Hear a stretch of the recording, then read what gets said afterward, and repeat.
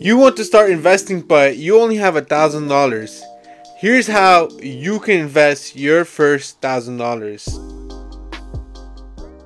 People like making investing sound like it's rocket science, but all investing is is you're planting a seed and then you're watching it grow. The easiest way to start investing is with the stock market because you can simply do it on your phone. If you're not making money using your phone in 2023, just throw that thing away. The stock market is the perfect place to transfer money from the impatient to the patient.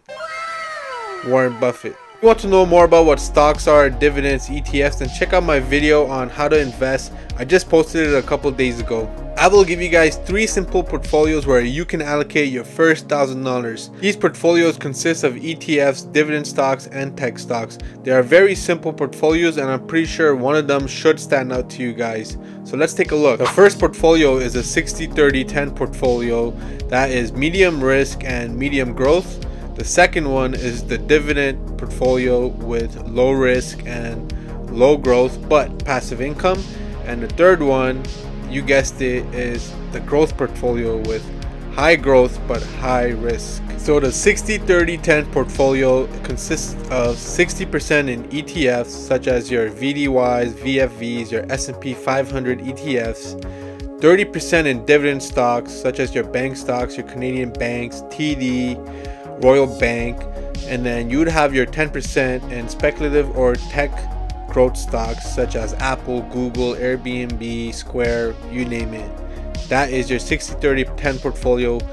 So it has a bit of everything. It has the ETF growth, it has the dividend safety, and then it has your high risk tech tech growth. Next, we have the all-round dividend portfolio, which consists of 70% in dividends, 20% in ETFs, and 10% in growth stocks.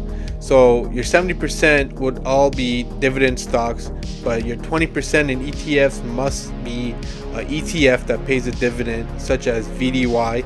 And then your tech stocks, they must be dividend paying tech stocks, such as Apple, Microsoft, or a semiconductor like Taiwan Semiconductor, Nvidia, stocks that give uh, dividends, especially if it's a growth stock, it must give a dividend. If you guys are enjoying the video so far, make sure you hit that subscribe button and leave a like guys, really helps the channel.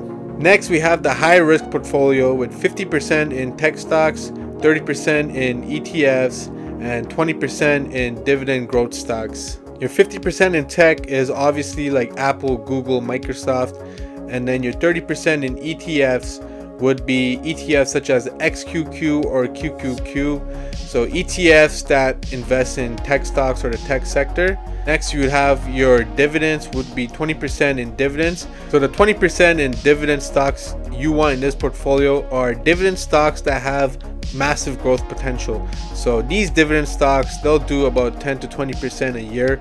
And some of these stocks are stocks like like the Canadian banks like TD or Suncor and a stock like Visa because these stocks they pay a dividend but they also give massive return year over year such as 20% or 10% year over year. So guys there you have it. That's three portfolios which you can choose from whether you're a dividend investor a tech investor or just an all-round investor.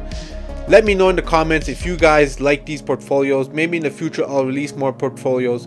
Make sure you guys like subscribe and leave a comment and we'll see you guys next time